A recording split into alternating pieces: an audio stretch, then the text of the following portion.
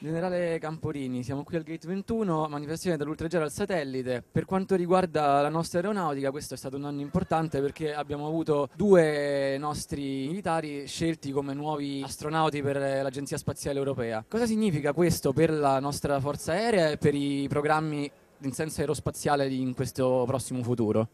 Io credo che significa innanzitutto che eh, i concetti che abbiamo implementato nella formazione del nostro personale sono assolutamente d'avanguardia.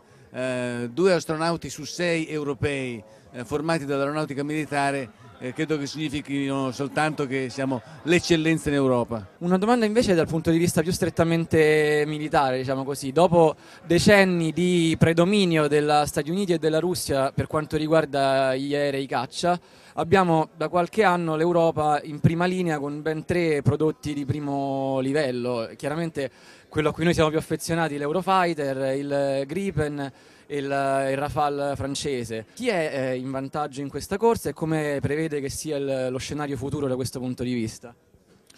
io non voglio fare comparazioni, voglio semplicemente dire che eh, con l'ingresso in servizio del, eh, dell'Eurofighter noi oggi abbiamo un sistema di difesa aerea di eh, assoluta prima qualità.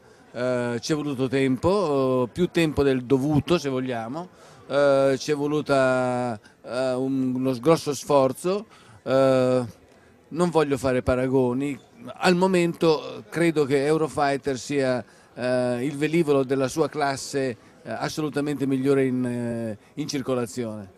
Okay. Un'ultima domanda mh, mm, più generale, questi ultimi anni sono stati molto impegnativi per quanto riguarda l'intero sistema della nostra difesa e quali sono le, mh, mm, le sfide che aspettano le nostre forze armate in questo 2010 appena iniziato?